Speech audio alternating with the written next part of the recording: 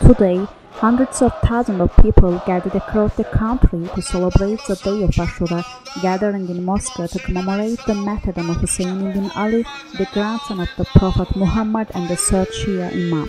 According to Shia traditions, the tenth day of the month of Muharram marks the Battle of Karbala, where in the year 61 uh, Arabian Hijri calendar, Imam Hussein and members of his family were killed in a revolt against Umayyad Caliph Yazid ibn Muawiyah.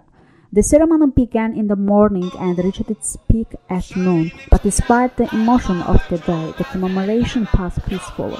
Ghazi Council of Caucasus Muslim issued a fatwa directing people not to violate public order through the khutbah and respect holy places.